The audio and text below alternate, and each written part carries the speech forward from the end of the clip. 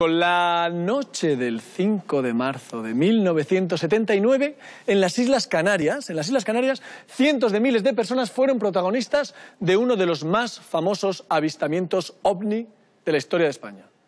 Años después, se pudo saber que todas esas personas no alucinaron aquella noche.